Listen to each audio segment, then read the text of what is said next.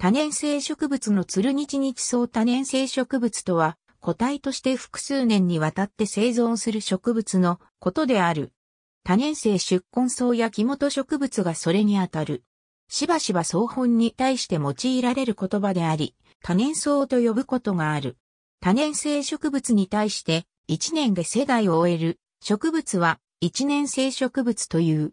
また、冬の前に発芽し冬を越えて、春から夏に花を咲かせて枯れるものを、特に二年生植物と呼ぶことがあるが、実質的には一年生植物である。一方で、一年を超え二年以内で世代を終える植物のことを二年生植物と定義する場合もある。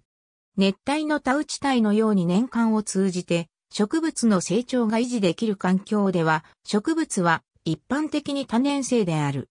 厳しい寒気や冬季など植物の成長に不利な季節がある場合、これを乗り越えられれば多年生植物となる。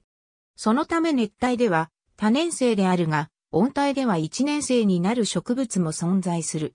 通年にわたって地上に姿を見せているものもあるが、越冬時などに地上部の茎や葉が枯れ落ちる一方で、地下茎や根などが休眠状態で残り、翌年にそこから再び茎や葉を伸ばすものもある。このように地上部だけが枯れてしまうものを出根草という。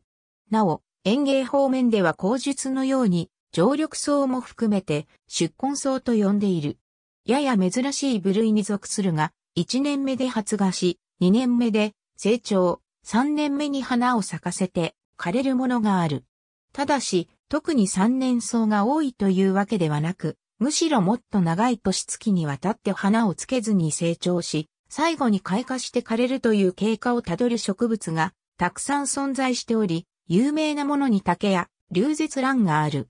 このような生活史を持つ植物のことを一年生と呼ぶ場合がある。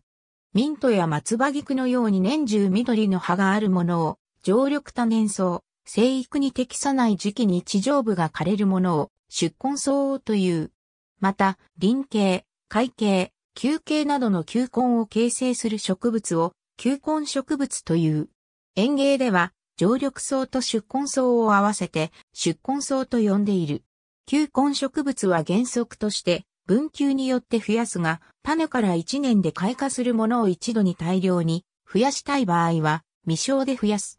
出根草では未生のほか、刺し目、株分けなどが行われる。多年生や一年生という語は植物に限らず生物全般に対して用いることができる表現である。ありがとうございます。